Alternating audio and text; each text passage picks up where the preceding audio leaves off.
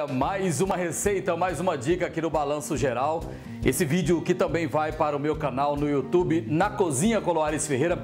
E hoje você vai aprender a preparar um pudim gostoso, diferente, usando, sabe o que? Pão velho. Aqui, ó, pão amanhecido, pão duro, que muita gente joga no lixo. Isso aqui vai virar um delicioso pudim. Quer aprender comigo? Então nós vamos precisar de três pães amanhecidos, 500 ml de leite, uma caixinha de leite condensado, dois ovos e uma xícara de açúcar para fazer o caramelo. É muito fácil e prático, né? Quer aprender? Então vem para cá. O primeiro passo aqui é colocar o leite aqui no liquidificador.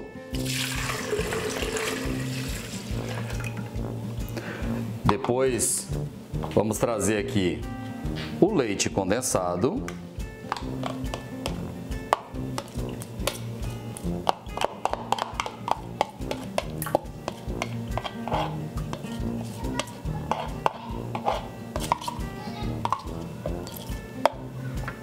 E vou utilizar essa mesma vasilha do leite condensado aqui para quebrar os ovos. Vamos lá. Bom, aqui eu vou quebrar os dois ovos.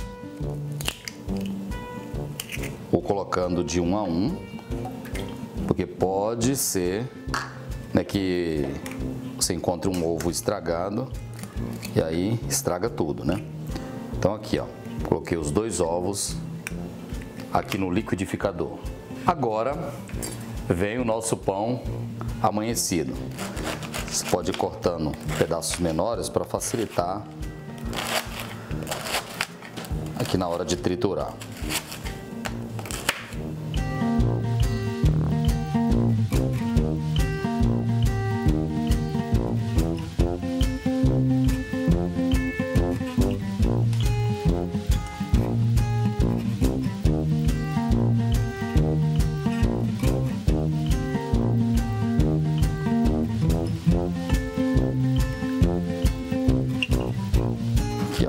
Bem duro, né? Isso aqui é só para facilitar aqui triturar o nosso pão. Você pode colocar e aqui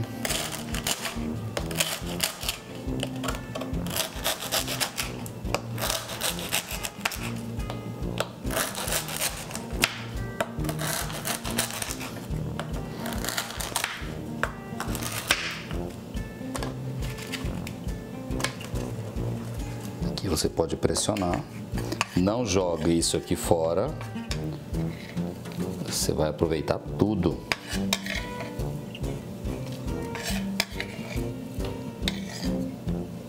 Aqui no liquidificador, nós vamos agora triturar todos os ingredientes aqui.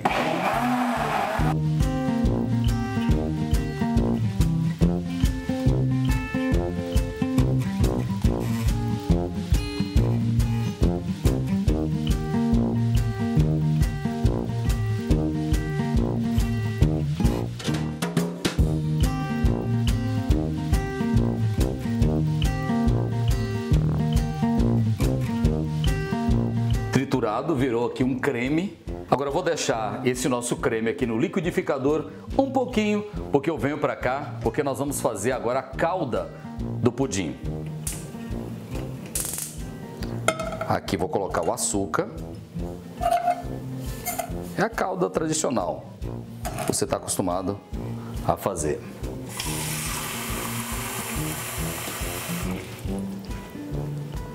Vamos deixar esse açúcar derreter e virar aqui um caramelo.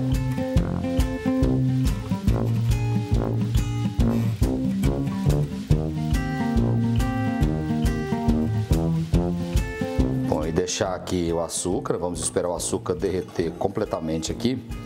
Enquanto isso, enquanto o açúcar derrete aqui, nós vamos levar o pudim ao forno no banho-maria.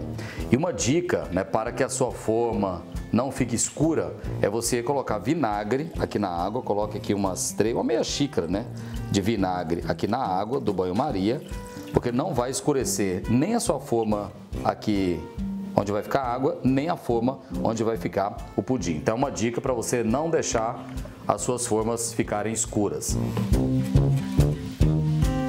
E aqui já está ficando caramelo. Tem que esperar derreter completamente o açúcar para a gente colocar um pouquinho de água. Ficar uma calda não muito mole, mas também não ficar dura demais. Aqui, ó, a partir desse momento agora eu vou colocar um pouquinho de água.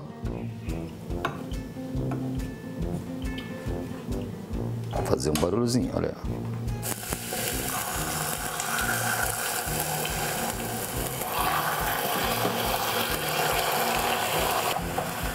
Vou deixar virar uma calda. Não pode ficar muito aguada. Vamos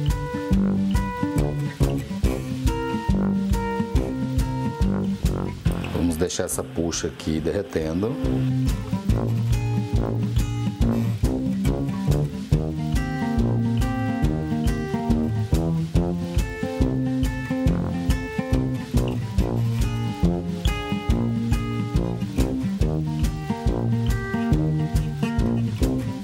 Bom, aqui o nosso caramelo já está pronto.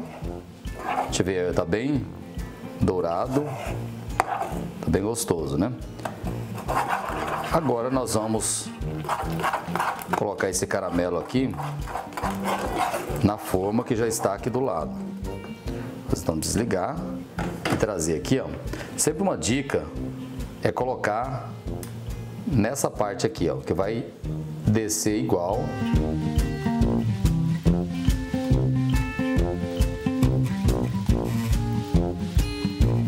Aí, ó, sempre colocar aqui.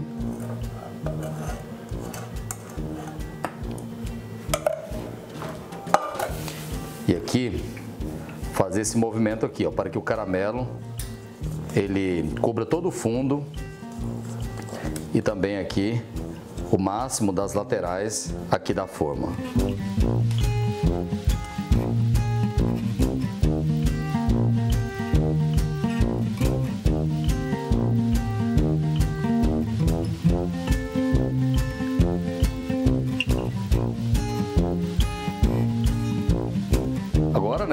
Só mais uma impulsionada aqui e trazer esse creme lá para a forma.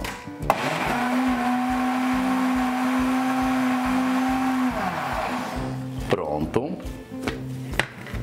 Agora vamos trazer esse creme aqui, sempre colocando aqui a partir desse ponto central, que vai descer bem direitinho aqui, ó.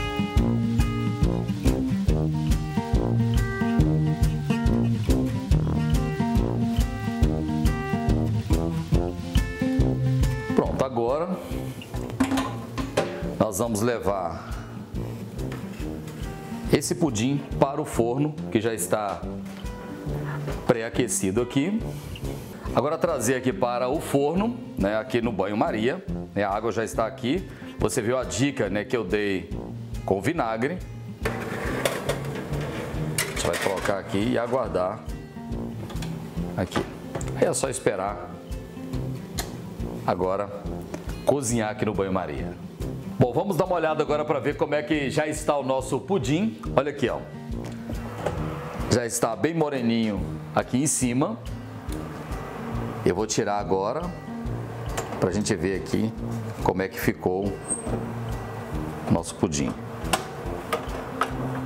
Tirar aqui com a forma com cuidado.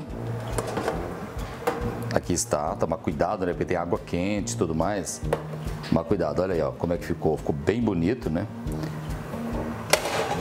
Esses buraquinhos que você está vendo aqui, ó, é um teste que a gente faz para você saber se o pudim está cozido. Aí, ó, saiu limpinho, está cozido. Saiu aqui com massa, ele está cru ainda para você continuar deixando ele cozinhar. Então, agora nós vamos fazer o seguinte. Eu vou tirar aqui o pudim dessa água quente, vou colocar aqui e esperar esfriar para a gente ver como é que ficou. Bom, nosso pudim já está aqui frio, você vê como é que ele ficou? Eu vou desenformar agora, vou usar aqui uma faca para a gente soltar as laterais dele.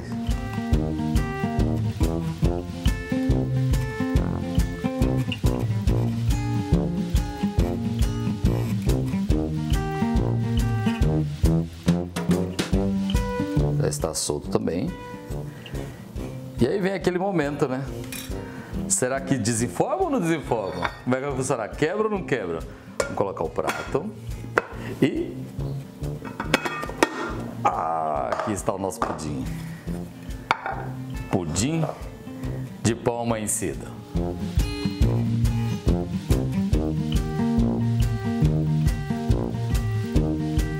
Bom, e agora chegou a hora da gente experimentar aqui o nosso pudim, pudim de pão amanhecido.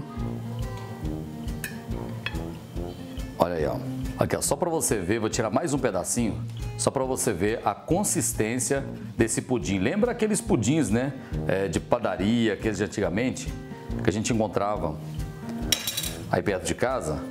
E olha aí, ó, fica gostoso. Se você quiser um, uma, um melado, um caramelo é, mais intenso, aí fica a seu gosto, né? Vamos ver como é que ficou? Ficou bom, viu?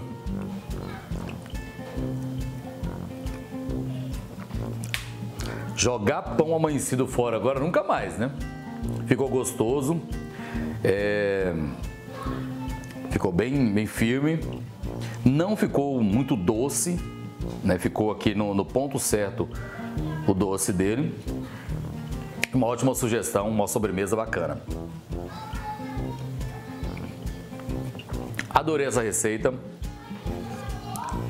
uma sugestão legal, né? Faça na sua casa também, sirva para sua família, para os seus amigos. Galera, muito obrigado para você que acompanhou mais uma receita aqui no Balanço Geral. Lembrando que essa receita já está lá no nosso canal no YouTube, na Cozinha Coloares Ferreira. Muito obrigado, toda semana tem novidade, tem coisa nova, vai lá, se inscreva no nosso canal. Na Cozinha Coloares Ferreira tem muita, ó, muita receita mesmo. Muito obrigado, valeu, até a próxima, fiquem todos com Deus.